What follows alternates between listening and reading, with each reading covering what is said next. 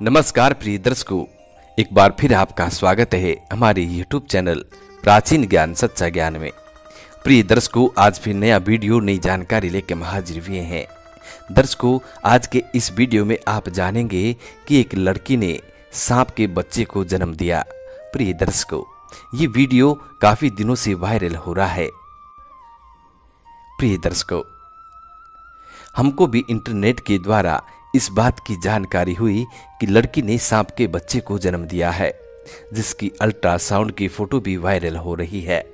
दर्शकों, इसकी सच्चाई क्या है और क्या नहीं है, आज के इस वीडियो में आप जानेंगे कि वास्तविकता में क्या एक लड़की ने एक सांप को जन्म दिया है। ये कितना सत्य है और कितना झूठ है, इस बात की जानकारी आपको इस वीडियो में देखने को मिलेगी। प्रिय दर्शकों हमें ये तो पता नहीं चल सका कि ये जो वीडियो वायरल हो रहा है, ये किसने किया है और कहाँ का है। लेकिन इस बात की पुष्टि हमने की है, हाल ही में जो वीडियो वायरल हो रहा है, ये वीडियो मिथ्या है।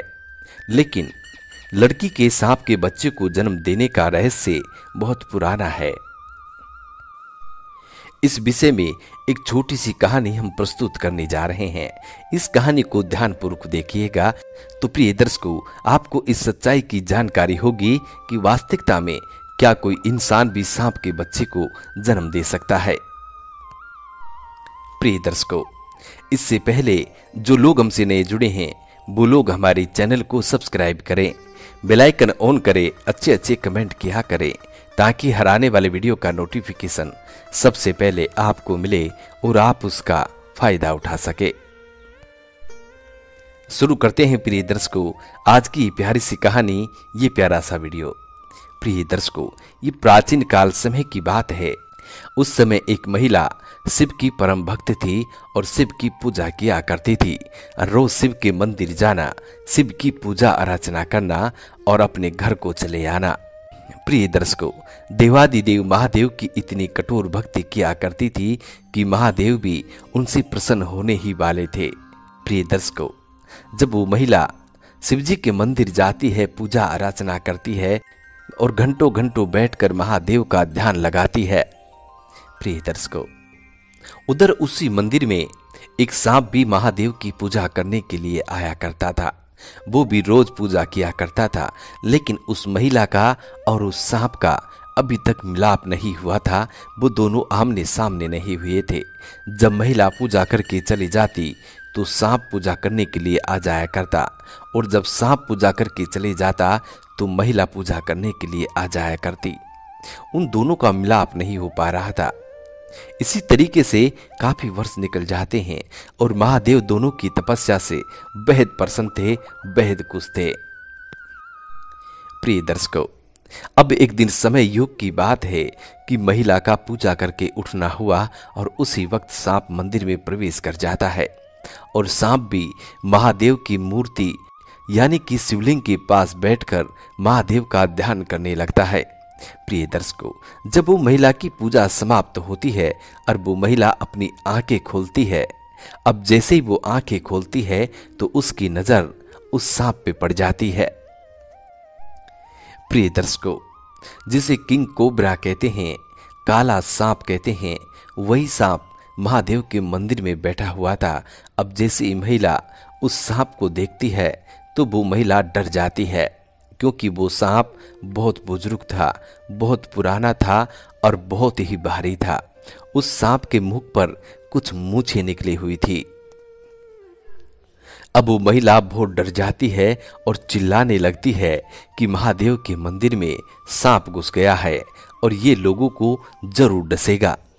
प्रिय दर्शकों, अब वो सांप उस महिला को अपने फन के द्वारा इनकार करता है उसे इशारा देता है, समझाने की कोशिश करता है।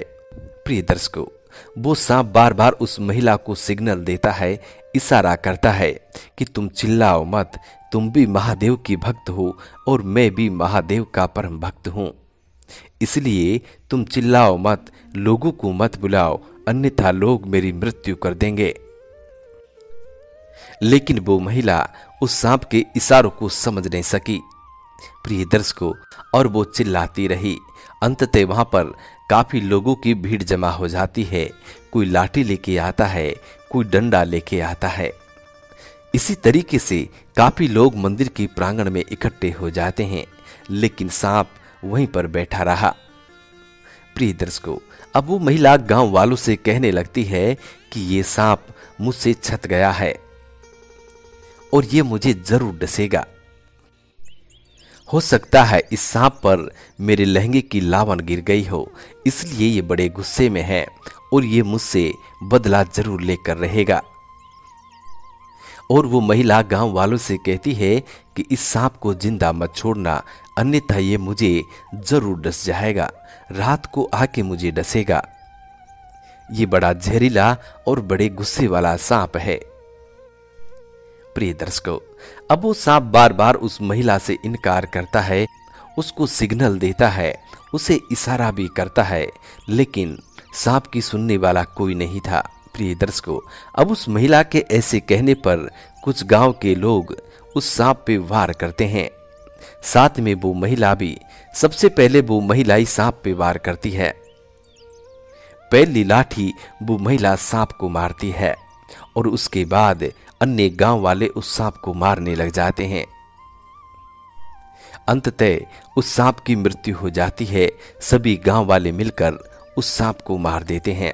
प्रिय दर्शकों, जब वो सांप की मृत्यु होती है, उस वक्त वो सांप शिव की भक्ति पर बैठा हुआ था, शिव का ध्यान लगा रहा था।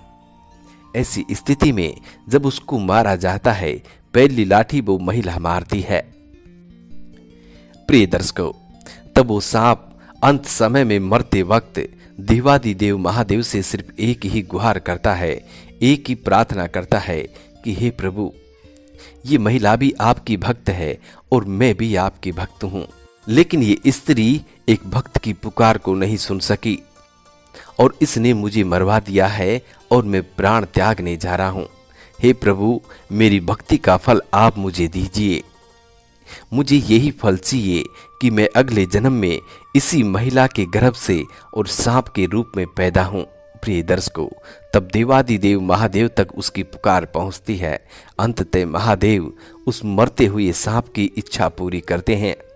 प्रिय दर्शकों, अब नौ महीने बाद वो महिला गर्भवती हो जाती है और उस महिला के गर्भ में अब वो सांप पलने लगता है। प्रिय दर्शकों जब समय पूरा होता है तो वो महिला सांप के बच्चे को जन्म देती है। प्रिय दर्शकों, जब वो महिला सांप के बच्चे को जन्म देती है तो पूरे नगर में सनसनी फैल जाती है। पूरे नगर में हंगामा हो जाता है।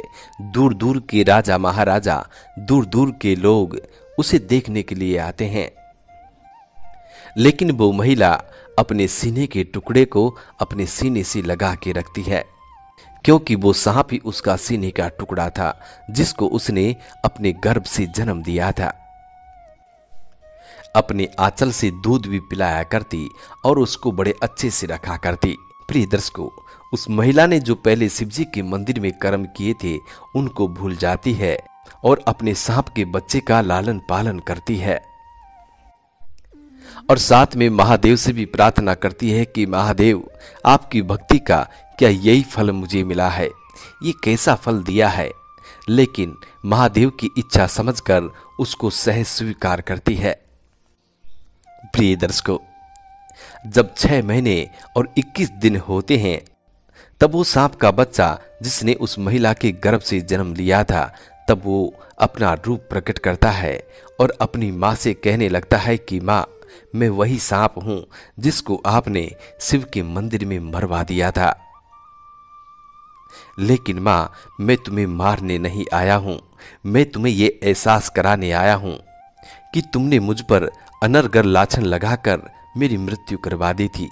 इसलिए मैंने महादेव से ये वरदान मांगा था कि प्रभु, मैं इसी महिला के गर्भ से पैदा होना चाहता हूँ और इसके बेटे के रूप में होना चाहता हूँ, वो भी सांप के रूप में। इसीलिए महादेव की कृपा से मैं तुम्हारे गर्भ से सांप के रूप में पैदा हुआ हूँ। प्रिय दर्शकों, अब उस महिला को इस बात का ज्ञान हो जाता है। अब वो महिला फूट फूट के रोने लगती है, अपनी गलती का, अपनी गलती का पश्चाताप करती है। लेकिन प्रिय दर्शकों, अब क्या होने वाला था? प्रिय दर्शकों, अब वो सांप अपनी माँ से कहता है कि, माँ, तुम चिंता ना करो। मैं हमेशा तुम्हारे साथ रहूँगा, लेकिन अभी मैं तुम्हें छोड़कर अपने यथा स्थान जा रहा हूँ, जंगल में जा रहा हूँ और वहाँ जाकर महादेव की फिर से भक्ति करूँगा। प्रिय दर्शकों, इतना कहकर वो सांप अपनी माँ को प्रणाम करता है। उस स्त्री को प्रणाम करता है जिसने अपने गर्भ से सांप को जन्म दिया था। और वो सांप जंगल को चले जाता है और जंगल में जाकर महादेव की भक्ति करता है। अंततः वो सांप इच्छाधारी नाग हो जाता है और उसको मणि प्राप्त होती है। प्रिय दर्शकों, इस तरीके से प्राचीन काल समय में एक स्त्री ने सांप के बच्चे को जन्म दिया था। लेकिन आज के युग में क्या ऐसा होना संभव है? प्रिय दर्शकों हाल ही के वीडियो वायरल हो रहे हैं कि महिला ने सांप के बच्चे को जन्म दिया है। उसमें अल्ट्रासाउंड की फ़ोटो है। उसमें स्पष्ट सांप की छवि दिखा रखी है। लेकिन प्रिय दर्शकों, ये वीडियो फेक वीडियो है। ऐसा नहीं हुआ। ऐसा कदापि नहीं हुआ कि महिला ने इस युग में सांप के बच्चे को जन्म दिया है। प्रिय दर्शकों, दरअसल में हम आपको बता दें कि कुछ दिनों पहले एक अल्ट्रासाउंड की जो फ़ोटो वायरल हुई है, इस फ़ोटो को कृत्रिम रूप से बनाया गया है। उस अल्ट्रासाउंड की फ़ोटो में सांप की छवि को ऐड किया गया है। उसके बाद उस फ़ोटो को वायरल किया गया है। प्रिय दर्शकों, वो फ़ोटो वायरल होते ही काफ़ी लोग उस पर वीडियो बनाने लगे और साथ में किसी महिला की फ़ोटो लगा दी। इसलिए प्रिय दर्शकों, ये वीडियो बिल्कुल फेक है कि आज के जमाने में कोई महिला सांप के बच्चे को भला जन्म दे सकती है। प्रिय दर्शकों, और हम आपको ये भी बता दें कि जिन लोगों ने ये वीडियो बनाए हैं और उन वीडियो में जिन महिलाओं की फ़ोटो लगाई है, वो महिला यदि इस वीडियो को देखेंगी तो प्रिय दर्शकों, उनके दिल से क्या गुजरेगी? जरा इस बात को सोच कर देखिए। कि जिस महिला की फ़ोटो उन लोगों ने अपने वीडियो में ऐड की है, उनके दिल पर क्या गुजरेगी? जब वो इस वीडियो को देखेंगी और उस वीडियो में अपनी फ़ोटो को देखेंगी। हम उम्मीद करते हैं कि आज की ये वीडियो आप लोगों को बेहद पसंद आई होगी और इस जानकारी से आप ढेर सारे लाभ उठाएँगे। मिलते हैं प्रिय दर्शकों, आने वाले नेक्स्ट वीडियो में। तब तक अपना ख्याल रखें। जी नमस्कार, धन्यवाद।